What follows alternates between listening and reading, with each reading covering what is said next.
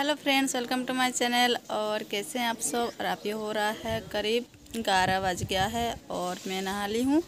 और क्या है ना, आज भी हमारे घर में मेहमान आ रहे हैं और सबसे ख़ास मेहमान आ रहे हैं। और मैं बहुत ज़्यादा खुश हूँ क्योंकि मैं मतलब मेरा अपना दी आ जाने वाली है और बहुत ज़्यादा खुश हो जाती हूँ जिस दिन मेरा दी मतलब दी आती है।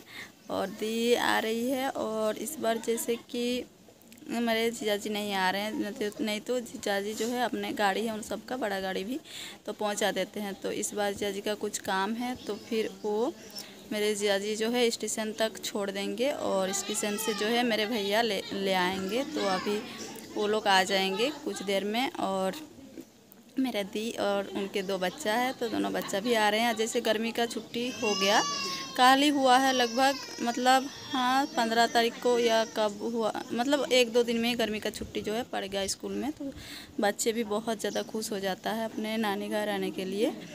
तो फ्रेंड्स, मैं मिलवाऊँगी और तो अभी मैं मिलती हूँ थोड़ी देर बाद। तो फ्रेंड्स मैं अपने दीदी को रिसीव करने के लिए स्टेशन पर आ गई हूँ। मैं सिद्धार्थ और मेरे बाबा तो बुलेरो में आई हूँ। घर से ही बुलेरो रिज़र्व कर कर आई हूँ क्योंकि स्टेशन से हम लोग आएँगे। और देखिए, यहाँ पर ट्रेन जिसमें मेरे दीदी आ रही है, वो वाला ट्रेन स्टेशन पे आ गई है और यहाँ पर काफ़ी ज़्यादा भीड़ है। और अभी करीब दस बजे ये ट्रेन जो है स्टेशन पहुँच जाता है। और आजकल जैसे कि एक आप सुबह ही निकल जाओ घर से तो अच्छा है, नहीं तो फिर शाम को क्योंकि दोपहर में बहुत ज़्यादा धूप रहता है तो जितना सुबह ही कहीं जाना आना रहेगा उतना अच्छा रहता है। क्योंकि बच्चा सब का भी फिर धूप लगेगा और बहुत ज़्यादा गर्मी भी है तो जितना मतलब सुबह ही सही रहता है जाने आने में। और देखिए बहुत ज़्यादा भीड़ भी था यहाँ पर, और ये ये लोग उतर गए हैं। देखिए मेरा दी उतर गए हैं और दी का जो है छोटा वाला बेटा और यहाँ पर क्या है ना, देखिए यहाँ से ना छोटा वाला दीदी का बेटा जो है निकलने खोजा, लेकिन वो पार नहीं हो पाया और उसके सर पर थोड़ा सा लग गया। वो जो स्टील का रैली होता है उसमें। और यहाँ पर मैं कुछ भी नहीं रिकॉर्ड कर पाई थी और यहाँ पर देखिए दोपहर का खाना बन रहा है। हम लोग स्टेशन से आए और तो फिर यहाँ पर हम लोग का तालाब में ही मछली पकड़ाया था तो फिर यहाँ मछली जो है बाहर में, चूल्हा में जो है फ्राई कर रहे हैं, क्योंकि घर में गर्मी भी लगता है और बाकी हो रहा है, बन रहा है गैस पर भी और यहाँ पर देखिए ये मतलब दीदी का बड़ा वाला बेटा यहाँ पर। झूला झूल रहा है और ये झूला ना पिछले साल का ही है। जब मतलब ये लोग इससे पहले जब आए थे तो उसी टाइम बना मतलब माँ बना दी थी तो उसी में वो झूल रहा है। और यहाँ पर देखिए दोपहर का खाना मैं खा रही हूँ सबको ही खा रहे हैं और मैं अभी थोड़ा लेट से खा रही हूँ क्योंकि मैं सिद्धार्थ को सुलाने के बाद आ रही हूँ खाने के लिए क्योंकि वो काफ़ी ज़्यादा जीद भी कर रहा था। तो यहाँ देखिए यहाँ पर मछली का सब्ज़ी बना है और ये लौकी और मसूर दाल दाल का एक रेसिपी होता है। अच्छा सा सब्ज़ी वो बना है और आम का चटनी। तो फ्रेंड्स यहाँ पर, उसके बाद मैं सीधे शाम को मिल रही हूँ और शाम को सबको ही हम लोग जा रहे हैं घूमने फ़ील्ड पे।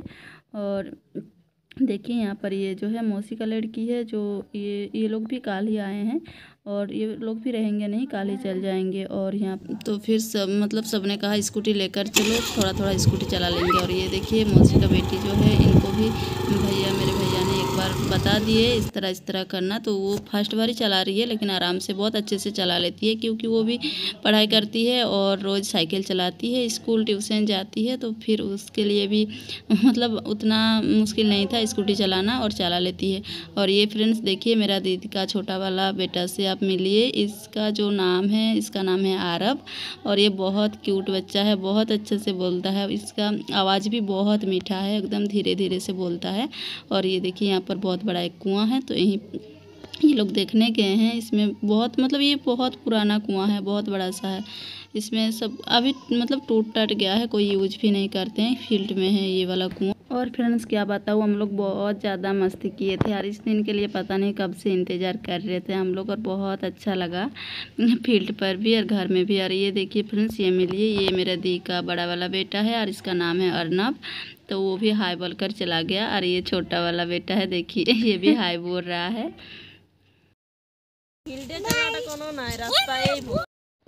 और फ्रेंड्स यहाँ पर मैं भी स्कूटी चला लेती हूँ। आई हूँ तो फिर चला ही लेती हूँ। मैं उसी दिन चलाई थी क्या कहते हैं जिस दिन मैं लास्ट वीडियो छोड़ी थी स्कूटी चलाने का। और उसके बाद आधी चला रही हूँ क्योंकि फिर मौका ही नहीं मिला एक, एक दिन भी आने का। और यहाँ पर बच्चे सब बॉल लेकर आए थे तो बॉल खेल रहा है। और यहाँ पर देखिए मेरा दी और सिद्धार्थ सिद्धार्थ अपने मौसी के साथ मस्ती कर रहा है खेल रहा है और मौसी भी और बहुत दिन बाद जैसे मेरे दी भी सिद्धार्थ से मिल रही है तो काफ़ी ज़्यादा दी भी सिद्धार्थ को प्यार कर रही है, दुलाल कर रही है अब देख सकते हैं। और बहुत अच्छे से मतलब सिद्धार्थ भी अपने मौसी के साथ बहुत अच्छे से रहता है। और मैं क्या बताऊँ, मौसी तो मौसी होती है, बहुत मतलब बच्चों से बहुत ज़्यादा लगाव होता है मौसी का। और यहाँ पर देखिए, बहुत मतलब बहुत अच्छा लगता है। घर में गर्मी से लग रहा था, लेकिन फ़ील्ड में बहुत अच्छा हवा चल रहा था अभी। और यहाँ पर देखिए, मेरा भैया को बच्चे के साथ बच्चा बन गए हैं और अपने दोनों भंजे के साथ खेलने में मतलब खेलना ही पड़ता है जब इस तरह सिचुएसन आ जाता है तो। तो देखिए यहाँ पर दोनों मतलब दोनों भंजे और मेरा भैया खेल रहा है मतलब खिला रहे हैं और यहाँ पर देखिए ये मेरा मौसी की बेटी जो है, वो स्कूटी चलाते मतलब चला ही रही है। तो उसको जैसे बोल दिए चलाते रहो अभी। और यहाँ पर देखिए दोनों बच्चे कितना खुश है। और छोटा वाला दीदी का जो बेटा है आरब वो ना थोड़ा घर में किच किच सा कर रहा था, क्योंकि अभी वो आया था, उसके बाद बोल रहे थे, नहीं मम्मा हमें मतलब अपना घर जाना है। ऐसे कर कर को थोड़ा सा रो रहा था, लेकिन फ़ील्ड में आने के बाद बहुत ज़्यादा आप देख सकते हैं, बहुत ज़्यादा मस्ती कर रहा है। और यहाँ पर मैं भी स्कूटी चला रही हूँ, थोड़ा मतलब कर कर के और तो यहाँ पर मैं चला रही थी और मैं फ़ील्ड में ही चला रही थी क्योंकि मैं मतलब इसी तरह थोड़ा सा चलाई और कहीं अभी मैं कहाँ जाऊँ अकेले और ये देखिए मेरा मौसी का बेटी जो है वो बोल रही, नहीं दी, तुम बैठो, तुमको मैं मतलब चढ़ा के चलाती हूँ। और ये ना एक दिन में इतना अच्छा सीख गई थोड़ा सा चलाने के बाद कि ये रोड पर भी मतलब चलाई, उसके बाद देखिए और फ्रेंड्स यहाँ पर भैया ने कहा दी को भी जे तुम भी एक बार चलाओ, चलो कोशिश तो करो, मैं हूँ ना। तो फिर देखिए, भैया ने दीदी को भी सिखा दी, दिए और दी दी भी चला रही है, लेकिन दी थोड़ा डर रही है। तो फिर उस तरह कर कर दी भी दो तीन राउंड जो है फ़ील्ड में चला लेती है आराम से और बहुत अच्छा लगता है। बच्चे सब भी बहुत खुश है, मम्मा सब, मौसी सब मतलब स्कूटी चला रहे हैं तो।